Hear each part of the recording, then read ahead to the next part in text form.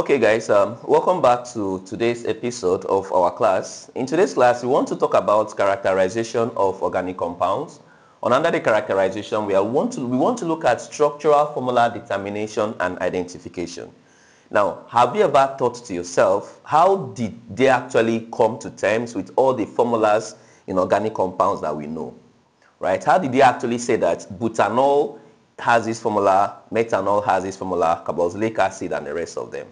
Right? Now, that was made possible through the use of instrumental analysis. In other words, spectroscopic method of analysis. Right? Spectroscopic method of analysis. Now, we have four of them we have the first one, UV visible spectroscopy, which is UV means ultraviolet visible.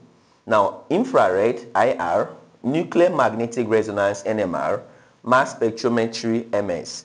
Now, it is important for us to take note of these acronyms just in case of exams, right? Now, we're going to be looking at shortly how these methods, each of them, the role they played, right? And what is their job in actually getting a structure of a compound. Chemists will say these instrumental methods helped us to elucidate structure of organic compound.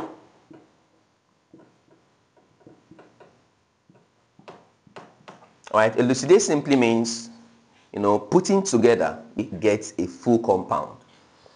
So let's look at the first one. spectroscopy. The functions. Now, what is a function of UV visible? We said um, the main work of ultraviolet or visible spectroscopy is to determine or to detect the type and nature of multiple bond or double bond, especially conjugated. All right. Now, it is the work of this to tell us whether a compound has a double bond. This is a double bond or a conjugated system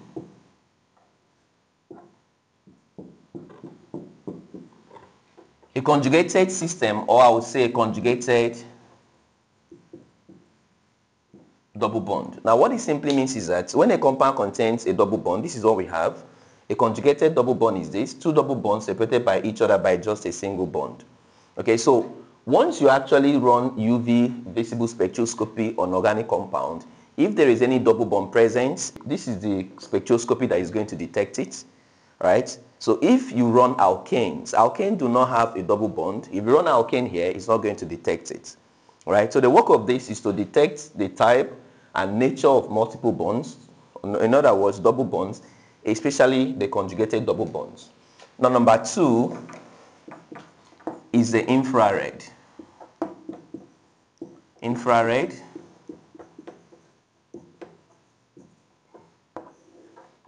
spectroscopy. Now what is the function of infrared? Now the work of infrared spectroscopy is to detect the type of functional group present. And what do I mean functional group? Functional group is a group of atoms or an atom, all right, that determines the chemical reactivity of a compound. For example, alcohols have functional group of OH. This is alcohol functional group. Now carboxylic acid or carboxyl group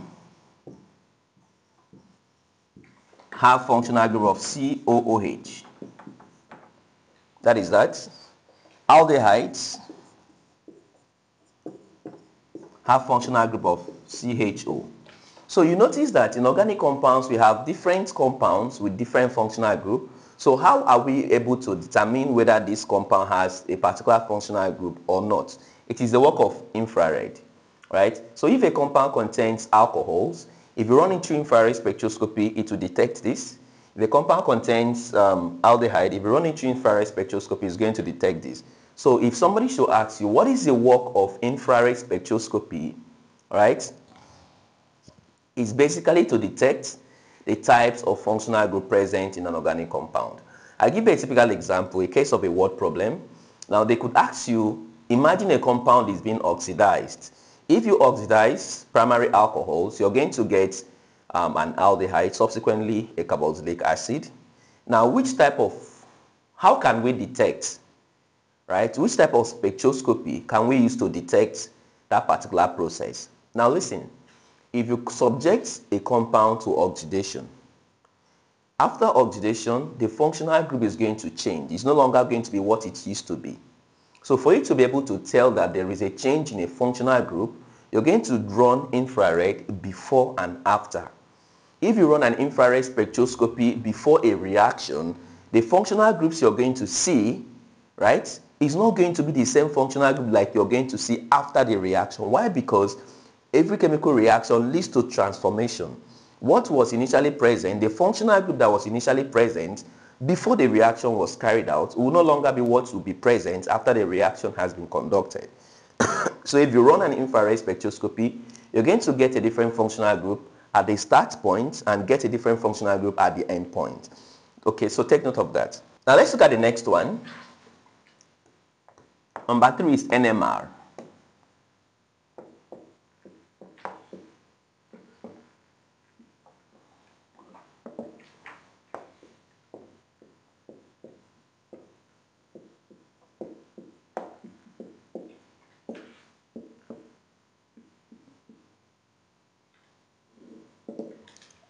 Now, do not forget that NMR is nuclear magnetic resonance, right? Nuclear magnetic resonance. Just take note of that acronym because over the past years, I've noticed a case where they will ask students, what is NMR?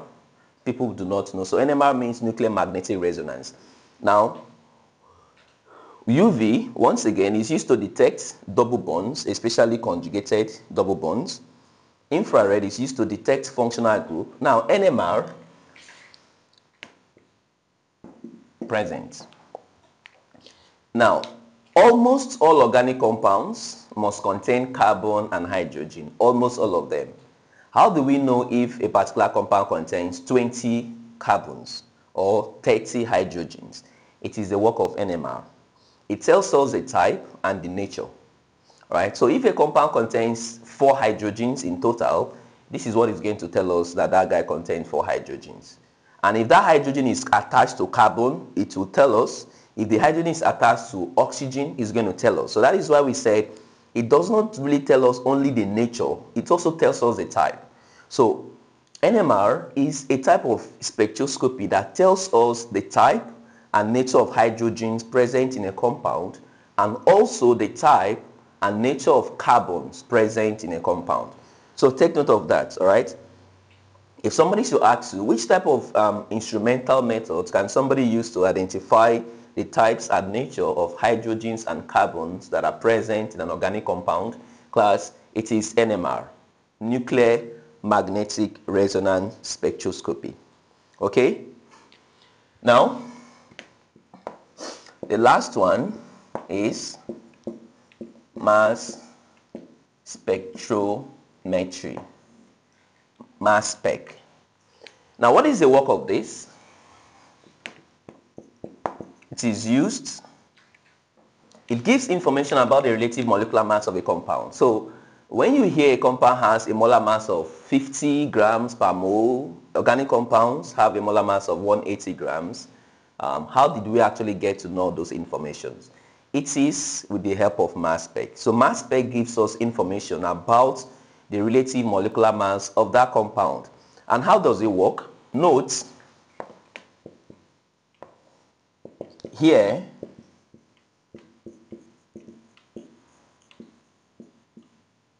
the molecule is bombarded by high energy electrons. So just in case, there are two ways questions can be asked pertaining to mass spec. There are lots of ways, but the two major ways questions can be asked pertaining to mass spec is that, right? The first one is they can ask us which spectroscopic method gives information about the molar mass or the relative molecular mass of a compound. Molar mass and relative molecular mass, they are the same. Right? In case you're being asked which spectroscopic method gives information about the relative molecular mass of a compound, it is mass spec. And also they can ask which spectroscopic method involves the bombardment of a molecule by a high energy electrons, it is still mass spec. Because in mass spec, the molecule in question is bombarded with a high energy electrons. All right? So that is all about um, spectroscopic method of analysis. So we're going to be looking at some few questions from the past questions to actually refresh our memory. But once again, do not forget that four of them, right, has a big role to play in getting a structure of a compound. The first one, which is UV visible, gives us information about the type and nature of double bond present in a compound, especially a conjugated double bond.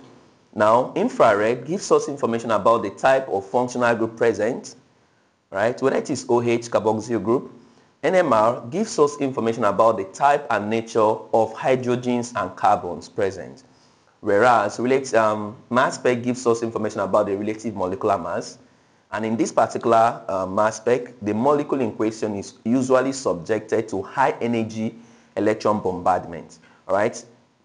So that is that for this. So let's look at some few questions.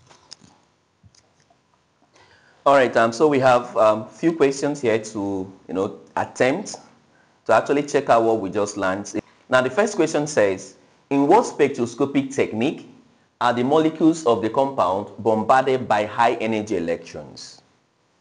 In what spectroscopic technique are the molecules of the compound bombarded by high energy electrons?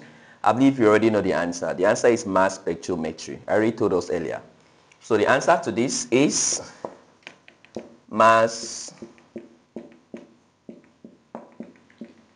spectrometry not mass spectroscopy, please, not mass spectroscopy, just mass spectrometry, right? Now the next, uh, the next one says, name the instrumental technique. Okay, so what if you use mass spectroscopy? Uh, they will not see mark you wrong, all right? But for this particular one, it's best to use mass spectrometry. Now, the next one says, name the instrumental technique used in identifying two compounds with different functional groups. Ari told us, I actually explained this. This is infrared. Infrared is basically what gives us information about the functional group of organic compounds. So if I really want to identify two different functional groups, I'm going to use infrared. Okay? So the answer to this question is infrared